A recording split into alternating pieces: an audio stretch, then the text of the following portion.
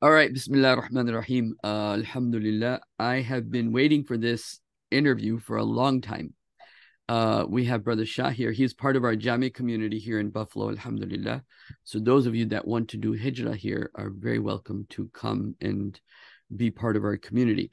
Brother Shah is a very accomplished, uh, he has like one of the most well-known, I'd say, barbershops, right?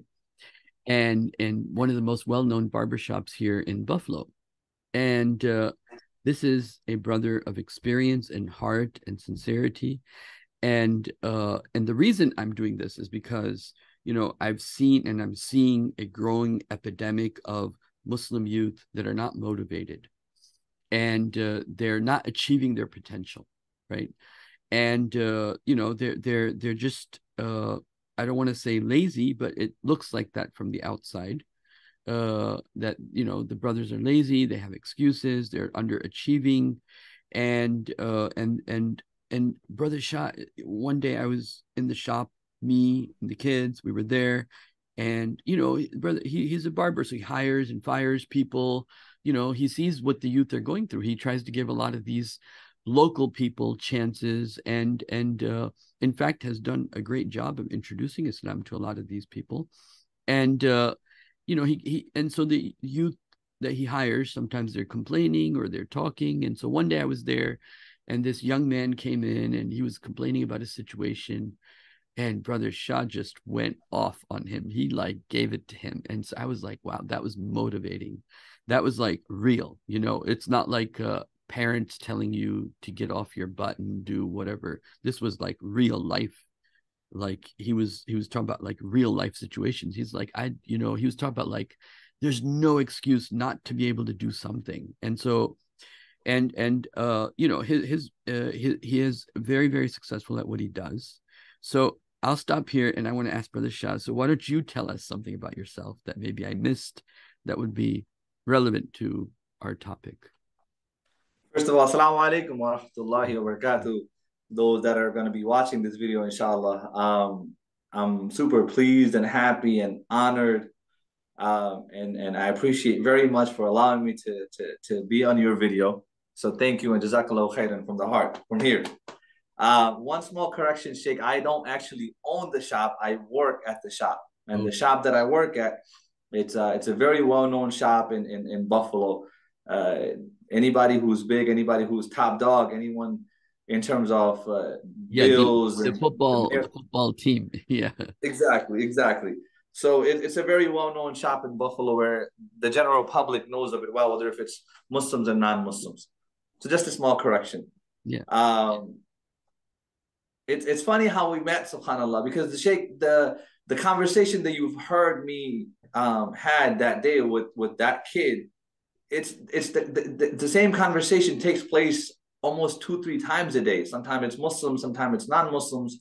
And me as a barber uh, you can't i don't just cut hair right? Because if you are just cutting hair that's not enough for you to be a successful barber. That's not enough for you to be a successful businessman.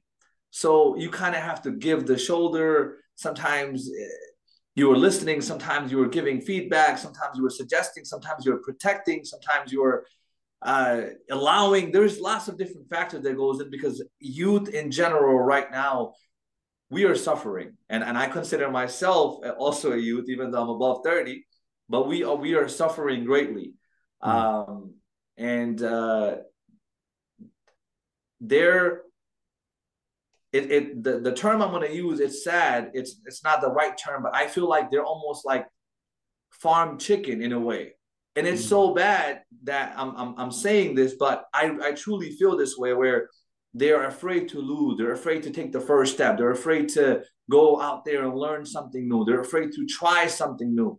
Mm-hmm. Just the, or investing in something. That whole aspect of things, it's not just amongst the non-Muslim, it's Muslims and non-Muslims together so while obviously our audience, hopefully, inshallah, a lot of Muslims, but it's it's it's a great it's a great issue that we're having, and and me on my end on a day to day basis, inshallah, I'm trying my best to motivate, rejuvenate, and encourage our our youngsters to get up and and and and just try something, to do something, and get out of your boundaries, and and just just get out of your comfort zone, be uncomfortable for a little bit, and be okay with it.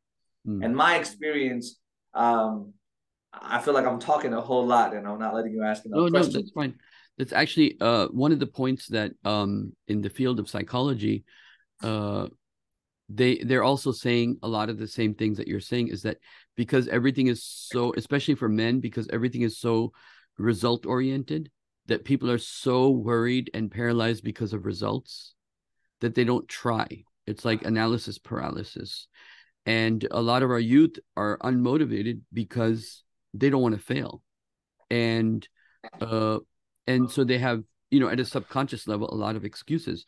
But this is actually an epidemic that's pervading the world uh, of unmotivated boys. Uh, many books have been written on it. The most popular maybe is The Boys Adrift, which talks about so everyone that's listening to this program, they're either young youth who are unmotivated, not achieving their potential, not goal oriented in their life, analysis paralysis, you know, in their comfort zone, in their parents' house, for example, or wherever.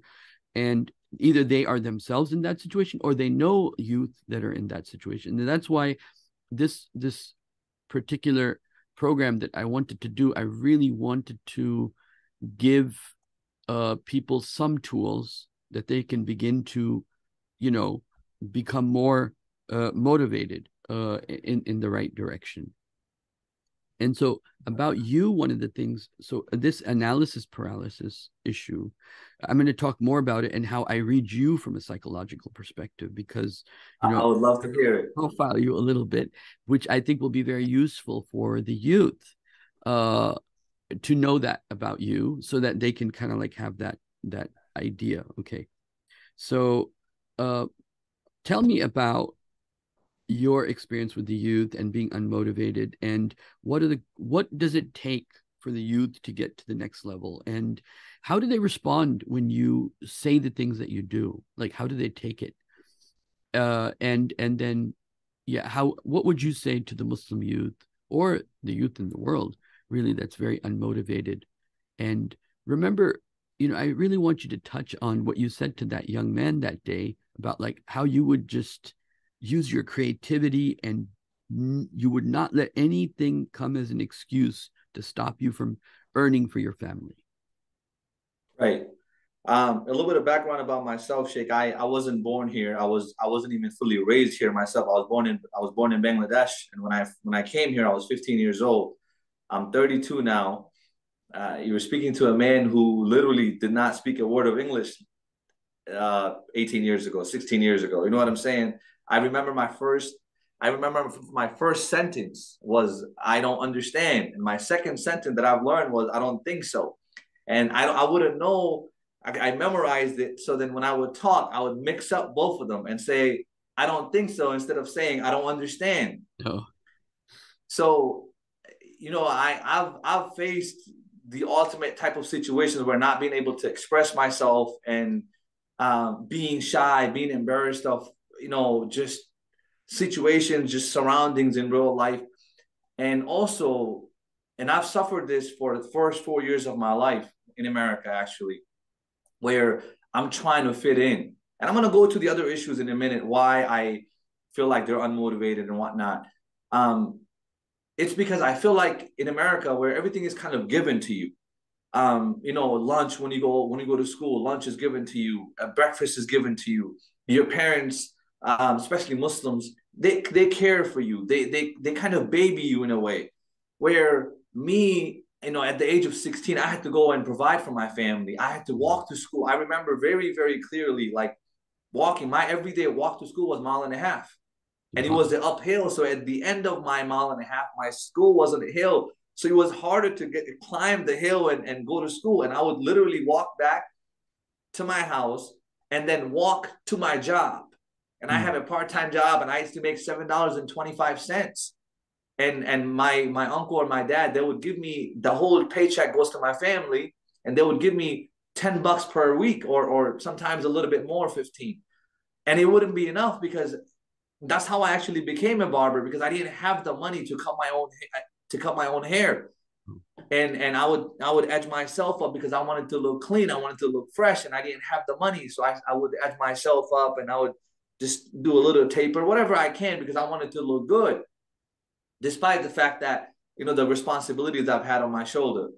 So the responsibilities that I feel that our kids have, it's not like that, like the way it had on me, where my dad didn't speak in English, we didn't have any cars, I had two little sisters, my mom was at home, so I had to go and provide for my family. Mm. Whether if it's school and then after school, you know, going to college and whatnot, but still working. There was a moment right after my, I haven't even, I didn't even graduate high school at that point. And I've had three jobs. I used to work for a security company, and I used to work for a company, uh, Target, as a matter of fact. Mm. And um, I used to be doing a planogram, like stocking things up on shelves and putting up price tags uh, at the age of 17, 18. Mm. So I, I feel like the reason why who I am today. Were you complaining and, in your mind about your life, or did you feel entitled, or you're like, no, I have to do this for my family? There, there wasn't any time of complaining because everything you were the. I don't have any backup. I am the backup. Mm. You know, I don't have anyone looking after me from from the background saying, okay, I'm gonna drop you off, I'm gonna pick you up, or I'm gonna give you. There wasn't any of that. Mm. So I, it, it, was it was almost like if I don't do it, then who else is going to do it? Mm. So at the age of 19, alhamdulillah, when I first started practicing Islam, that's when I, I got out of my comfort. How do I say it? My, I truly found myself where that part of work ethic was still there. But when you find Islam, it kind of truly shows you and and and gives you the confidence of no, you are you are a Muslim, you are this, you are Bengali, and you look like this, and you, you were okay with this, no matter no matter how many times you try to change your name, you change your clothes, you try to be someone different, got, try to get new friends, speak like them, talk like them, be like them. At the end of the day, you were still Muslim, you were still brown, you were still Bengali, you were still who you are. Nothing changed. Mm-hmm. So at the age of 19, Sheikh, I still remember like when I first started, you know, coming to the masjid and going to Jamaat and, and just being around Islamic activities, it gave me the confidence of who I am, who you were speaking today to it, this is all part of Deen. I, I've literally, I've, I've, I remember they put me into talking about Allah after Fajr in a Jamaat for three days, and I'm like, I don't know anything about Allah, but they put me, they put me over there right next to the Imam, but and I had to do it. And it's it's it's it's the it's the it's being comfortable while being uncomfortable. Mm. I think that's something that's a major key that I want our youth, whoever's watching this video, to take this from this video. If you don't take anything else from this video, just take this part where you have to be okay with being uncomfortable. It's fine. Not that You're not gonna lose anything. Maybe you have a job interview and you know you're uncomfortable because you have three, four men that surrounding you. Maybe it's one of them is a ladies and she's trying to offer you to shake, you know, shake your hand, and you're like, oh man, I'm sorry, I can't shake your hand.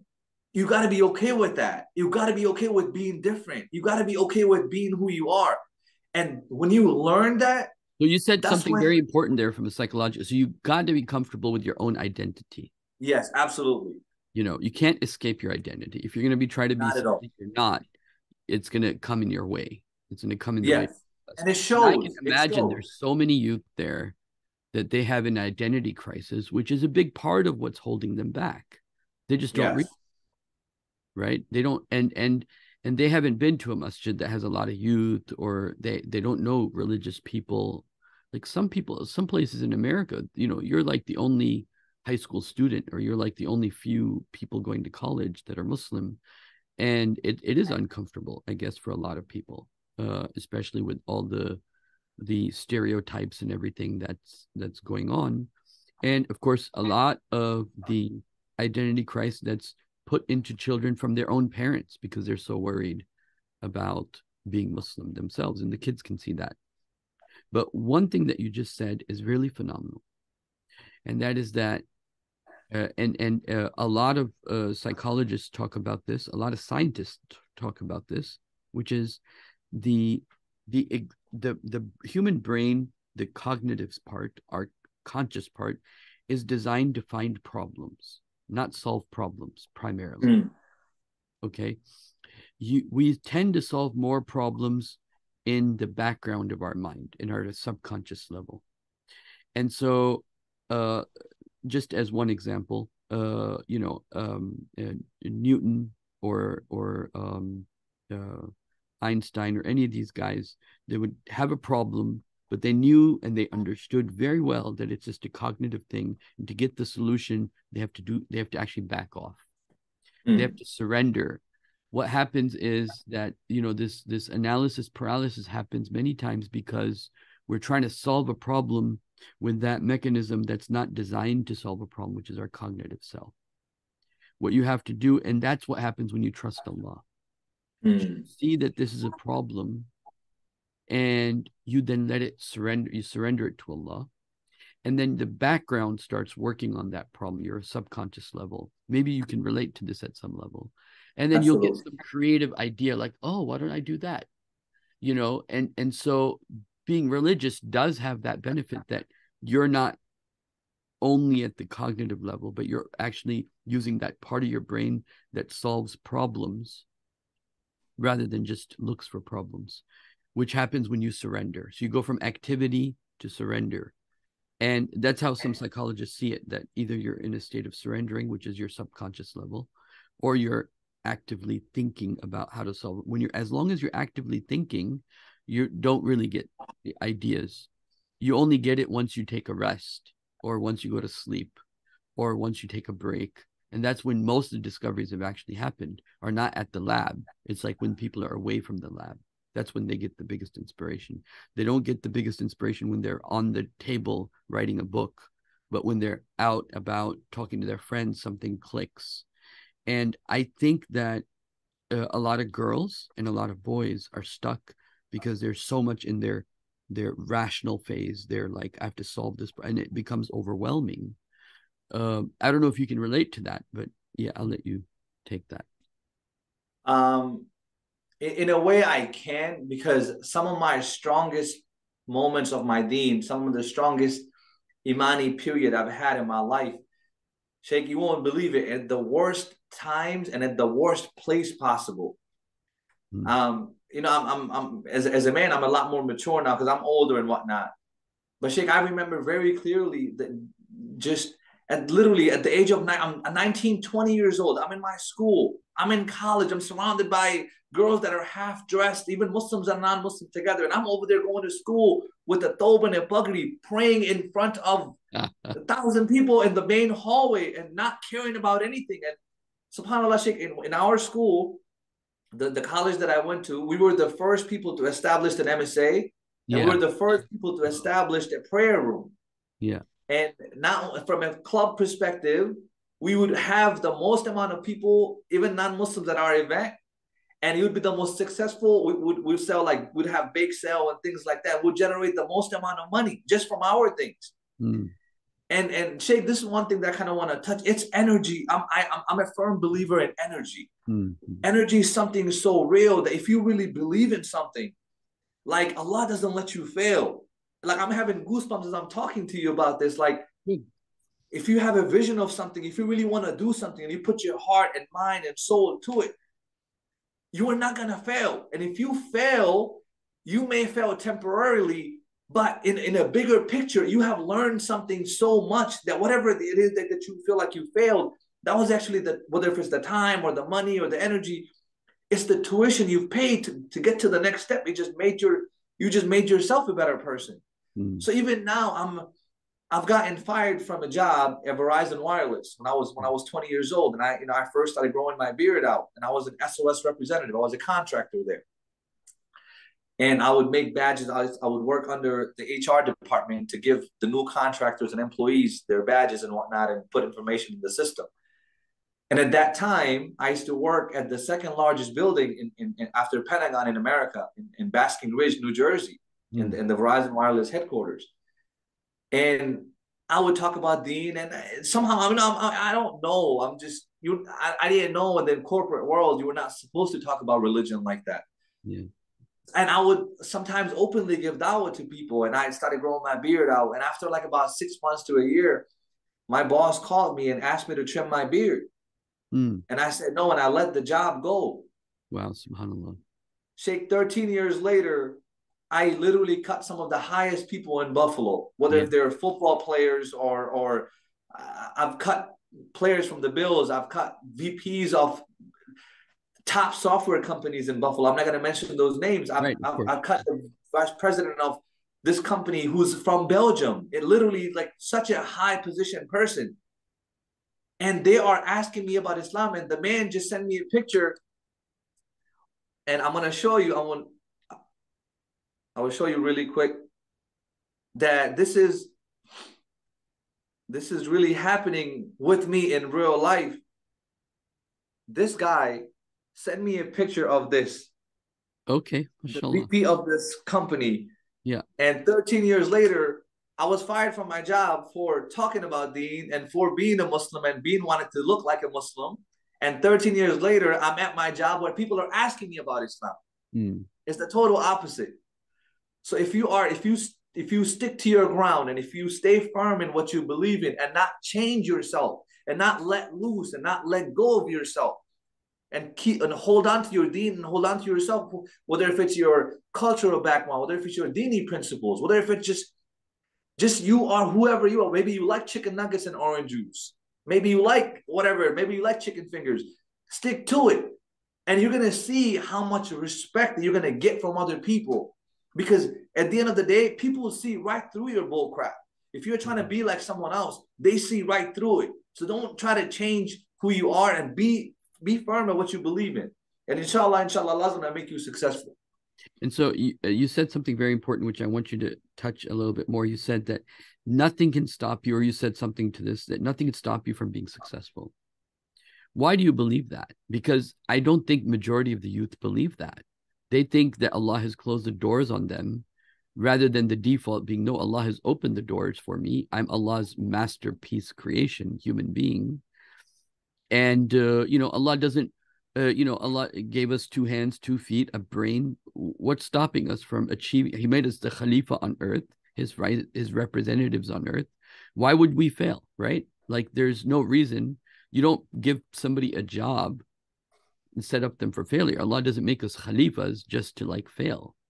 So that was one very important point. And the second thing that you touched upon was that when you did fail, you didn't take it as, oh my God, you know, I'm a failure, failure. You took it more like, okay, this is the tuition I paid to get to the next level.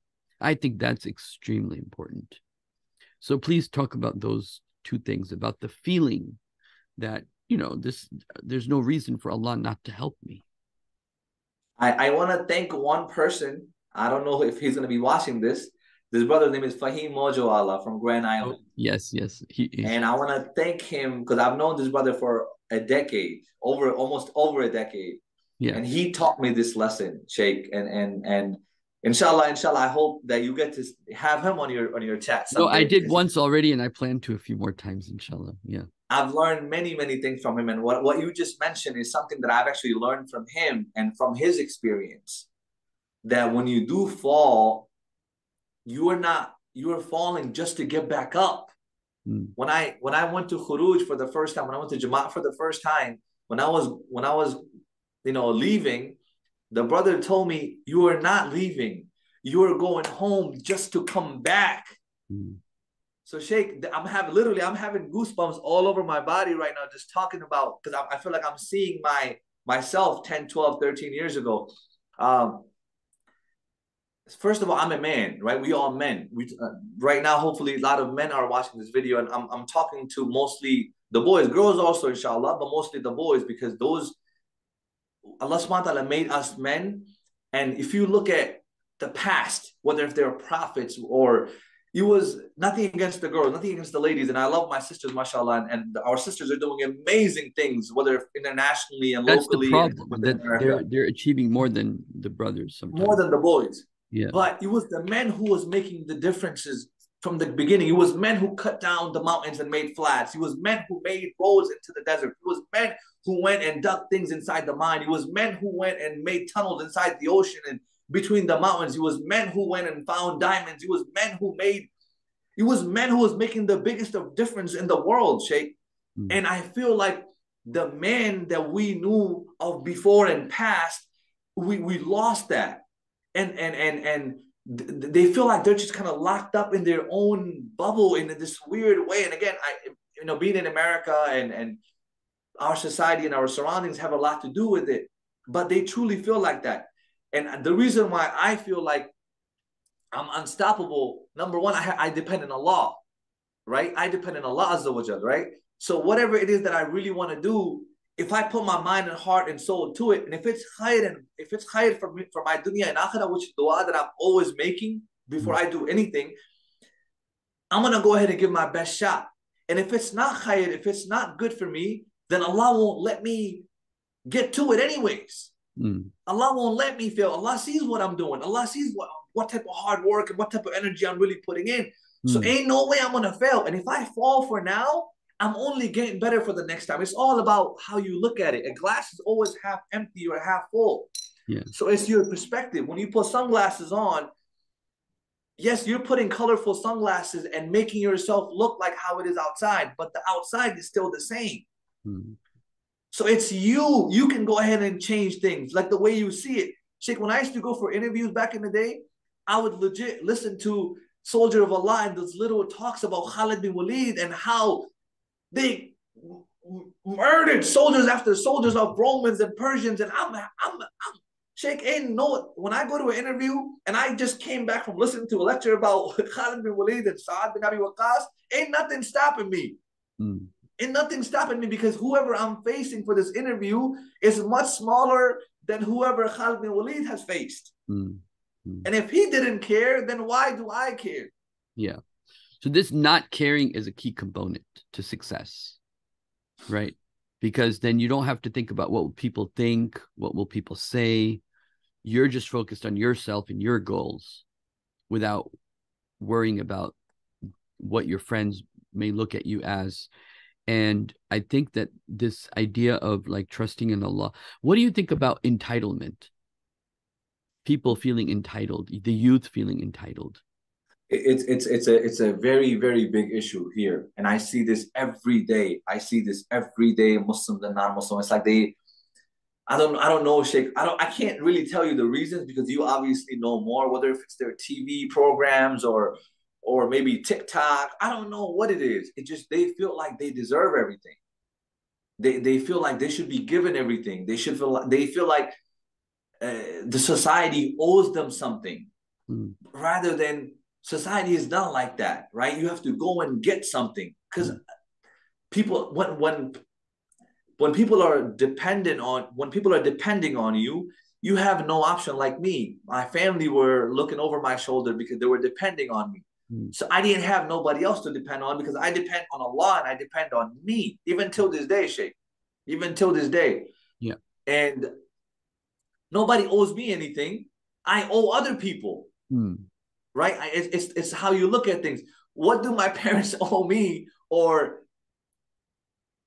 my parents have raised me, clothed me, fed me my whole life. Now it's the time to give back. Mm. So I feel like the youth of today is like, oh, what did my parents do for me? Yeah, yeah. You stupid moron. It's not what your parents did for you, is what have you done for your parents? Yeah excuse my language i'm sorry no, no, no that's fine that's fine so uh, i mean that's very important in terms of your perspective of life right i mean always kind of like taking it easy because you know your parents are there taking advantage of them and they have hopes in you but then you're never really you don't care about their hopes their energy their that they put into you.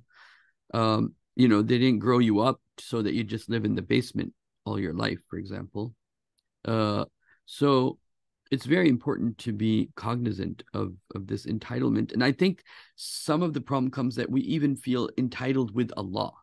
Like mm. you know allah subhanahu wa ta'ala didn't want us to feel entitled. He wanted us to like allah said i gave you the tools i gave you the two hands the two legs the brain you know now go and and ask for me for guidance and i'll give you the guidance and now you go you're doing your thing i'm not going to give you handouts meaning there's no miracles here right I mean, in, in the normal sense of the word, uh, that you have to like show Allah what you're what you're willing to do for Him or for His Deen or, and you know, Iqbal says one of the Muslim poets. He says, if you're not going to become become true to yourself, if you're not going to become true to Allah, at least become true to yourself.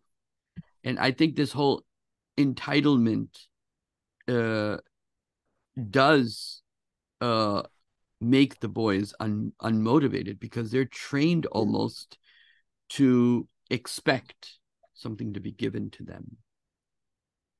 Yes. Uh, you're you're you're absolutely you're absolutely true.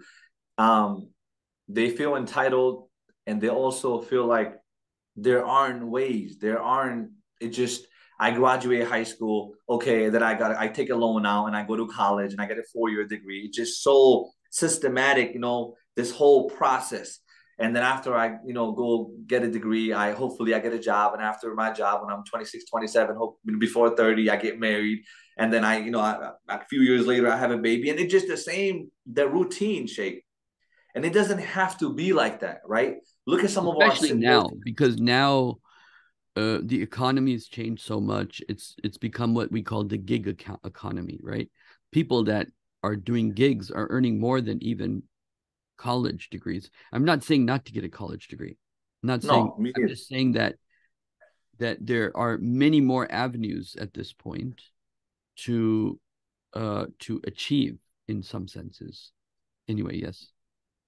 I I I agree 100%. I um even me becoming a full-time barber, Sheikh, I used to cut hair, I told you, since I was 16 years old.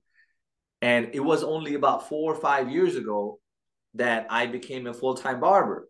Mm. And even even even though I, I, I sound all that confident now, and I, I've you know I I broke through all my chains and shackles and whatnot, and I broke through the cage. But even me five years ago, even that bothered me a little bit. Like, how can I depend on uh, an income that's not guaranteed, rather than me having a job that pays me a certain amount every week? And I was before I you know became a barber, I used to be a business development manager for a company called High Operator. They're um, an e-commerce company, mm-hmm. and and I had to get fired from my job. I had to get fired from my job to go become a full-time barber, even though in the same shop I was already cutting hair part-time. Mm. And the owner of the shop, every single time I would go in and get a haircut, he would say, "Come and be a barber. Come and make this money." And I would say, "No, man, I can't take a pay cut." Mm-hmm. But in all reality, it's not a pay cut it's a pay it's a pay up i'm getting paid more mm. right so at the end of the day it's it's relying on allah and relying on yourself and being um learning something on your own a, a skill that you develop right? There are again there are so many ways right? A kid doesn't have to go and learn something at the age of 18 after he graduate high school or at the age of 16 you can learn something at the age of 10 12 do carpentry do anything like clean. If you don't have the money to start a business okay go make the money. Go clean snow. We in buffalo it snows a lot. Go shovel some yards and see how much money $10 you do 10 houses that's $100 hmm. go cut grass in the summer everybody's yeah. everybody's everyone's grass is growing go cut the grass and see how much money they give you Sheikh, I seen this one um, one lady on Instagram. You know, now we're in the tech industry, and, and everything that you do, people want to watch. All she does is clean clean houses, clean this, clean this thing, clean, uh, organizes, clean. So I, I know how she's got like this ad that pop up. So if you just somehow be on their page one time, other things, you know, many more times, those ads are gonna pop up. So I watched it maybe for four or five times because I'm I know I'm in the the housing business and I always need people to clean and whatnot. And I go on her page, and I think it was like my second or third time or something. And I go on the website she's got a whole website and I go on the website, Sheikh, she got this whole thing systematically done where it tells you, like, you take a picture of your room and put how many furnitures you have and mm-hmm. what you need to be cleaned and this and that. And it tells you the price right then and there. I try to get her booked. She's from Philadelphia. She is booked months after months after months. Mm-hmm. There yeah. was no schedule available. Yeah. So if you are truly, if you truly want to do something, in this society now, there are a hundred different ways you can make money. You mentioned you can go buy something from thrift stores, sell them on eBay, go buy something from uh, any like what what are those um uh, those lost and found? I don't know what they call it, Salvation Army. Go yeah. buy something from there, sell them on Facebook Marketplace. Go give rides to your customers. Uh, there's 60,000 people that get out of the stadium every time there's a Bills game, every time there's a hockey game, every time there's a concert.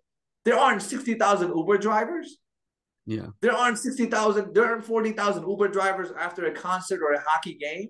Yeah. Every other day, something is going down. Every other day, something is happening. Mm-hmm. So go ahead and give them rides.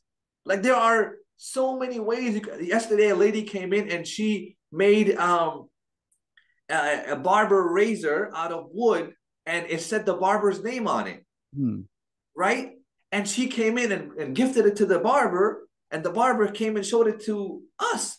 There were 16 barbers in there. Hmm. And right next to this barber uh, shop, there's a salon where there's four ladies in there. Hmm. Sheikh, if each one of those things cost hundred dollars or two hundred bucks, that that's thirty two hundred bucks just from the barbershop alone. And every single one of us, we want one because we want our name written on it.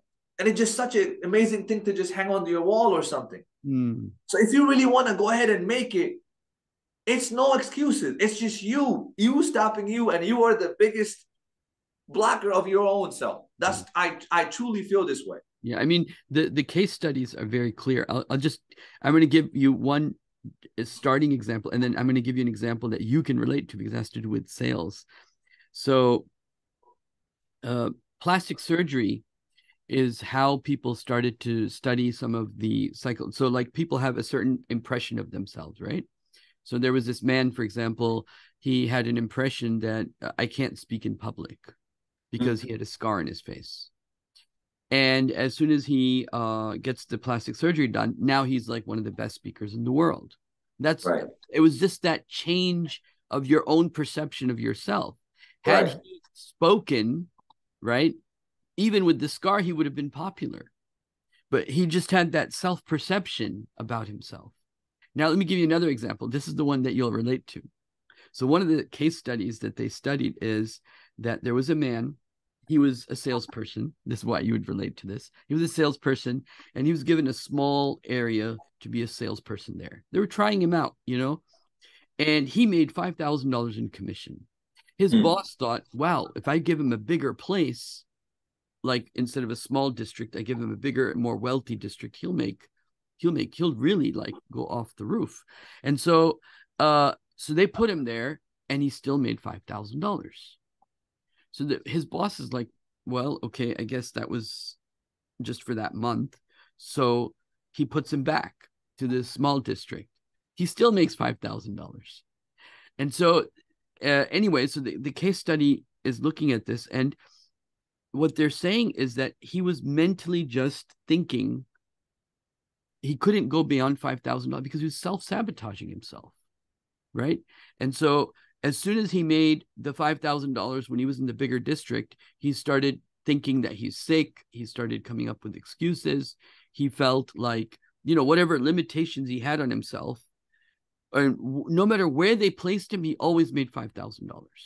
This was the, the, the point.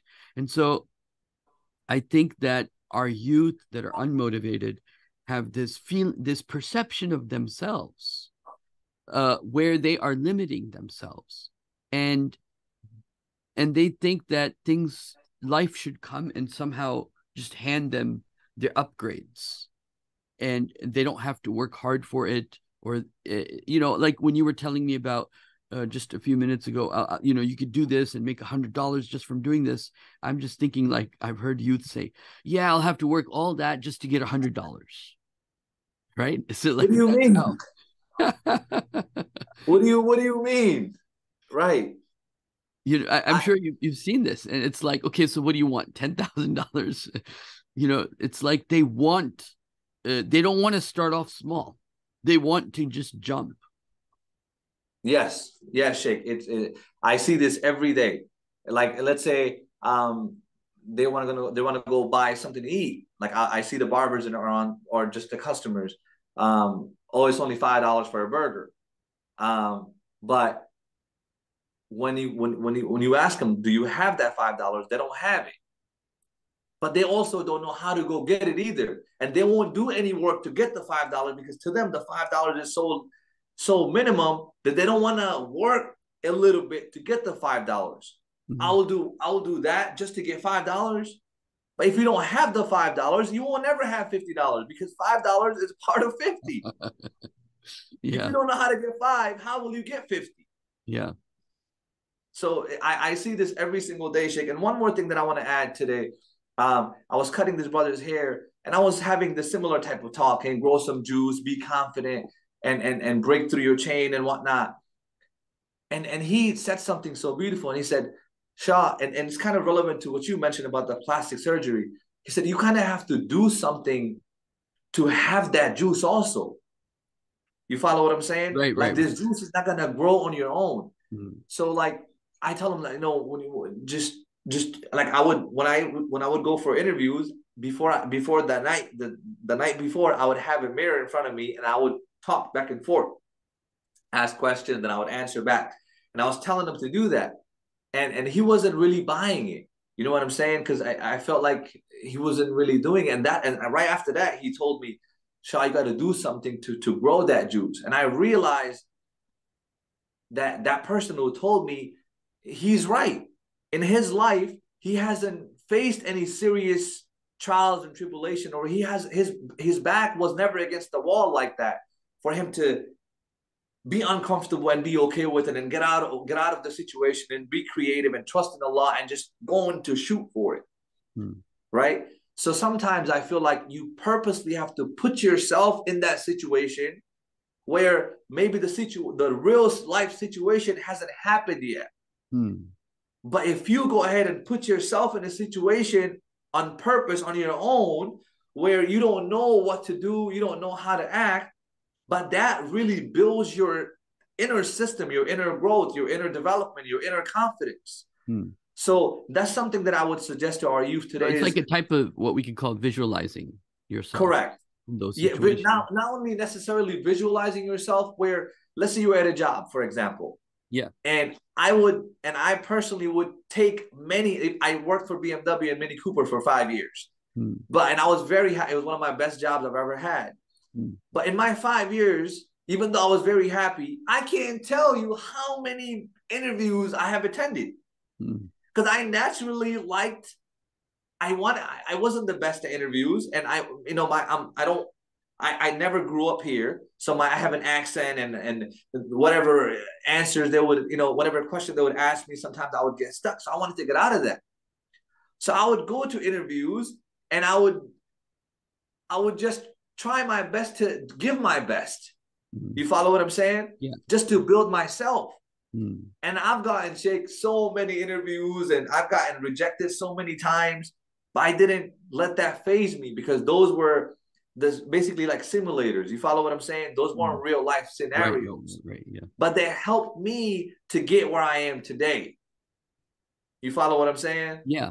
So let me ask you this.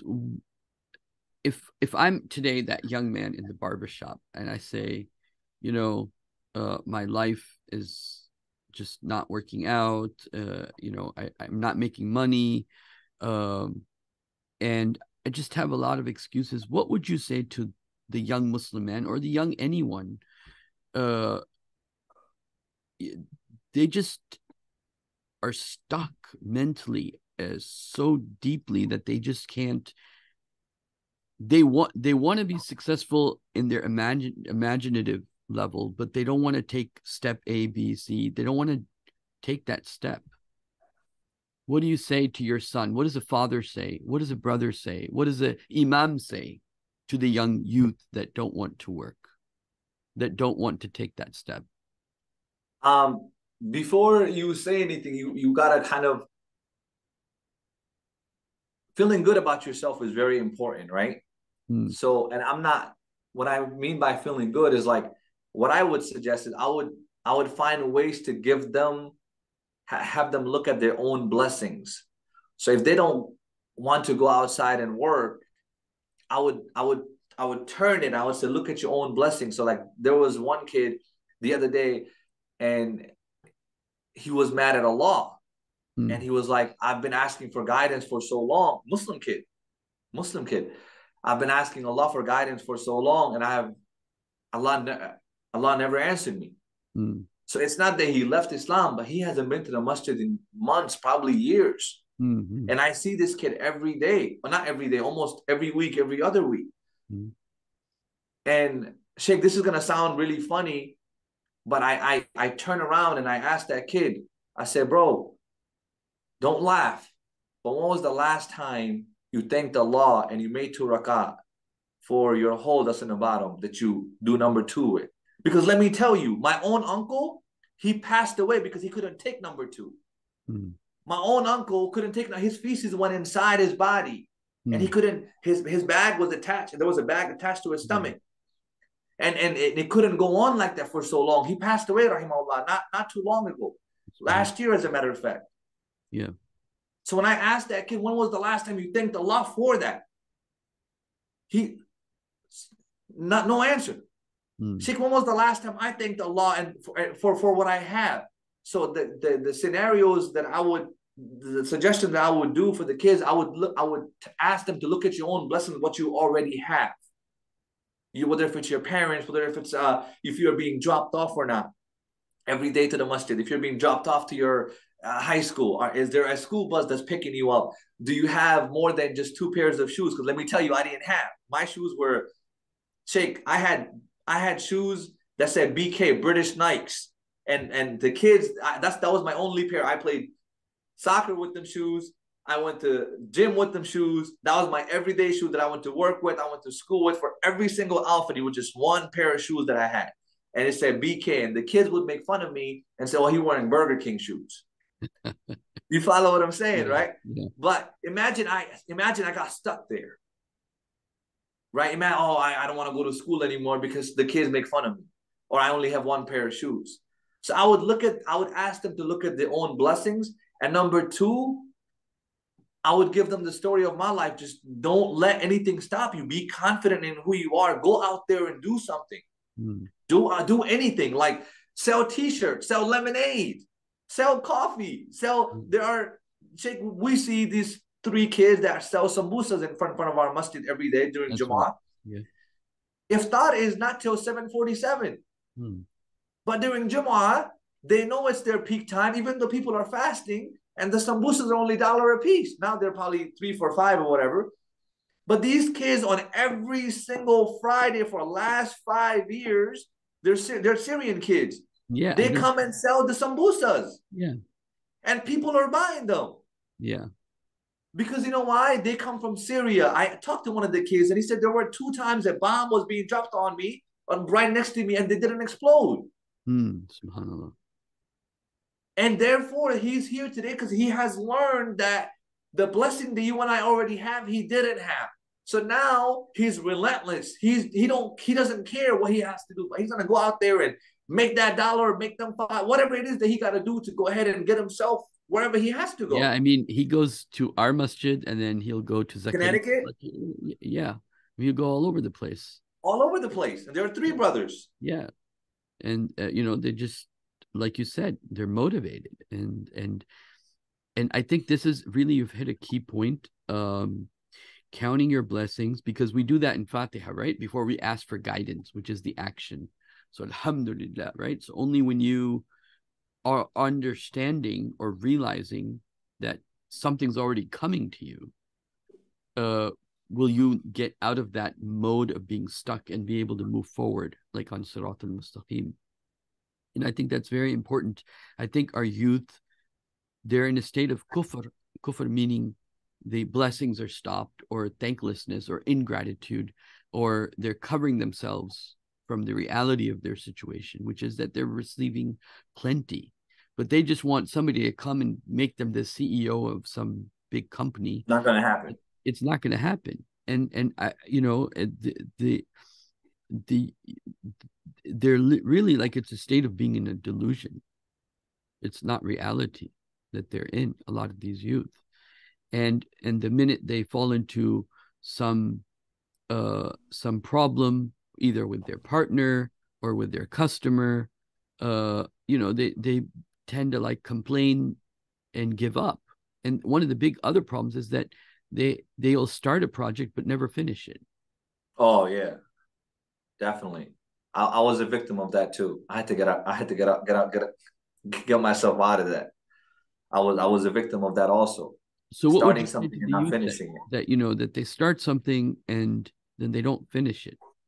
It it's also it, technically the same problem. It's not believing that Allah will help you. Correct. You know, and there's a verse in the Quran that Allah says in Surah Al-An'am, towards the end, Allah says, if you don't think Allah will help you, Allah says this in the Quran, if you don't think Allah will help you, then you might as well get a rope and choke yourself to death. Mm. This is what the Quran says. If you don't Allah, think Allah will help you, right?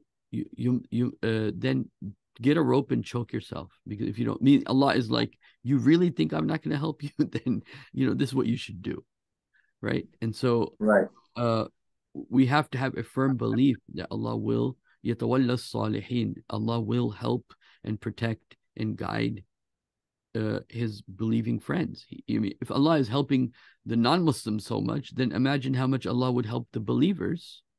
And Allah loves the youth, you know, innahum fityatun Allah talks about the youth of Dawood alayhi the youth of uh, Yahya, the youth of Isa alayhi the youth of many prophets, the seven sleepers that went to the cave that are generally called the seven sleepers. Innahum fityatun, they were young men. Allah loves young men, but young men that are like go-getters, right? That that they believe Allah will help them and they believe that Allah has already given them the tools to get what they want. Meaning they already have the brain, they have the creativity. The it's just our own excuses that come in the way. That's all it is. That's all it is. And the Quran says, "Innal insana ala nafsihi basira." Man has full insight to himself. وَلَوْ أَلْقَى مَعَذِيرًا Even if he throws excuses. And what happens is we believe in our excuses more than we believe in ourselves. Right. And and I think that really comes in the way. And so uh, is there anything lasting that you want to say to the Muslim youth uh, before we wrap up today, inshallah?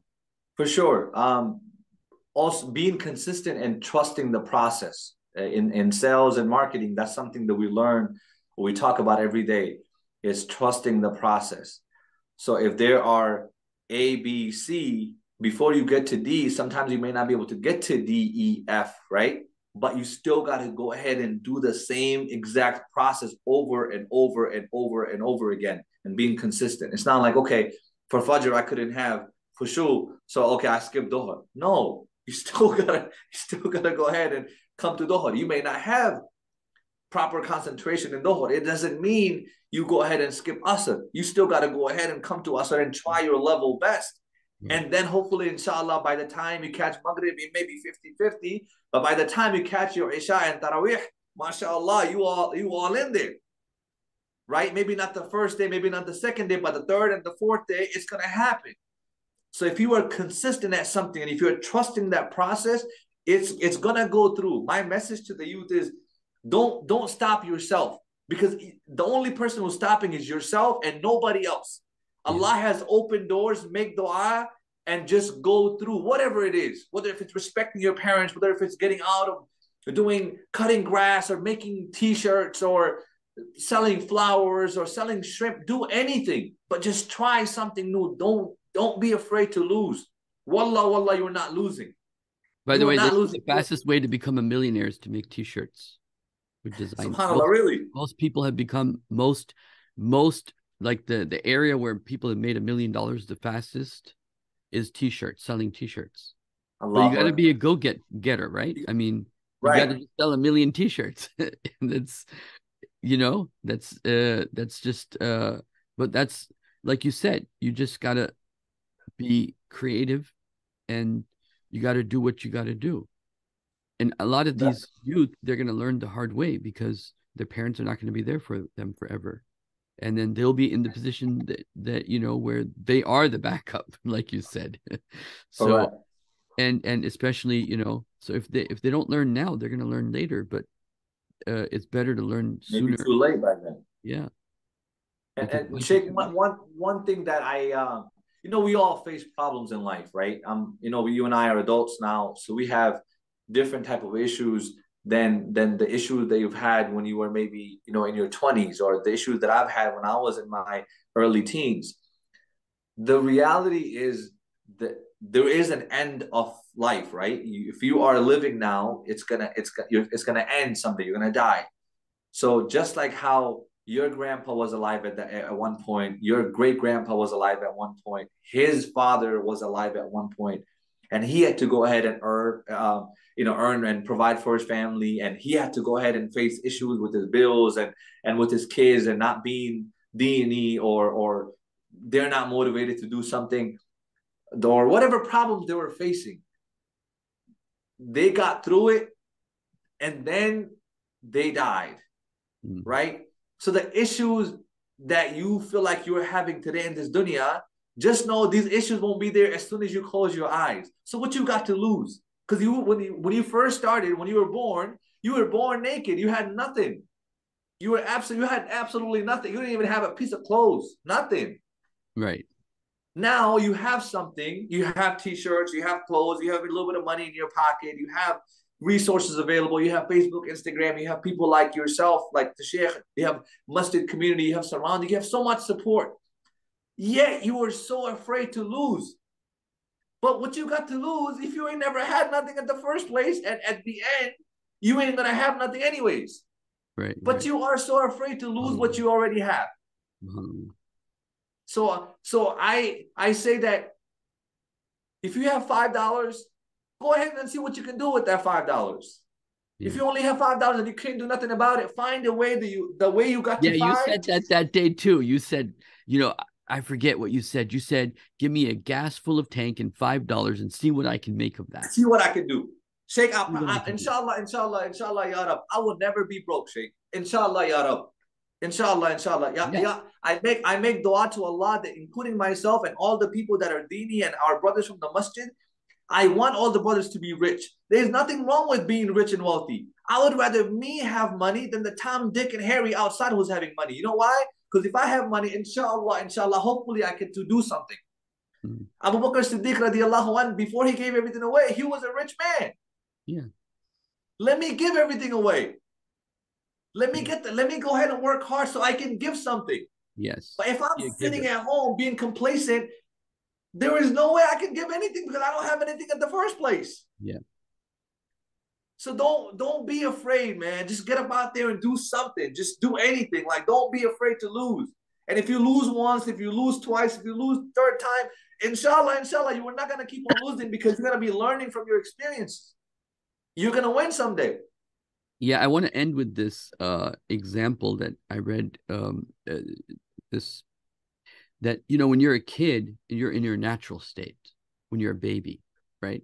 How many people if they were a baby and tried to walk once or two times or 10 times and fell every time, they'd just give up.